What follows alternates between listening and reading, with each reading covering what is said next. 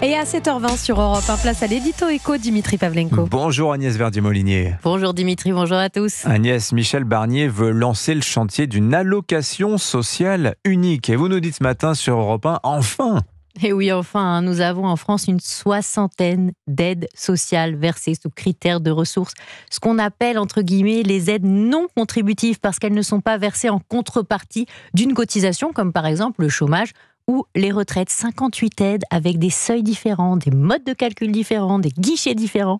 Et on peut en citer quelques-unes, hein, le RSA, l'allocation adulte handicapé, le minimum vieillesse, l'allocation de rentrée scolaire, l'allocation logement.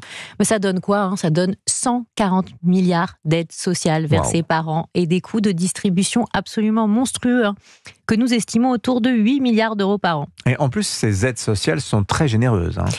Et oui, quand on compare avec les autres pays d'Europe, on se rend vite compte hein, que la France est parmi les pays les plus généreux. Alors par exemple, pour un couple qui ne travaille pas avec deux enfants, on peut cumuler en Ile-de-France un peu plus de 1500 euros par mois en minima.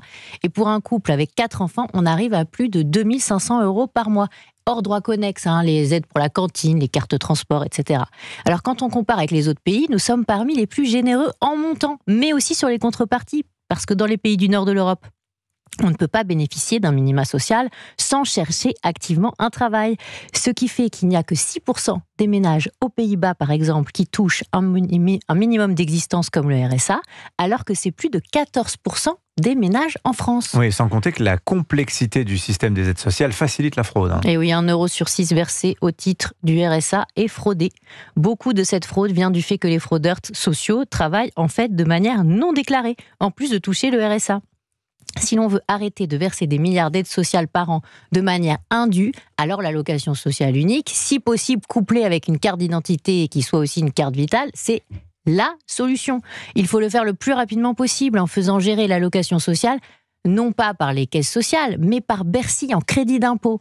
Hein. et ce sera moins cher en coût de gestion moins cher en fraude, il y aura moins de recours. Et en plus, si on plafonne à 90% du SMIC, hein, par exemple, ça ferait 1260 euros par mois, et ben on peut faire une économie d'environ 5 milliards d'euros par an. vous êtes plus généreuse que Michel Barnier. Il disait 70% du SMIC, lui, euh, dans une, un entretien ce, week-end. 70% du SMIC, ça ferait une très grosse baisse. 90, mmh. ce serait déjà pas mal.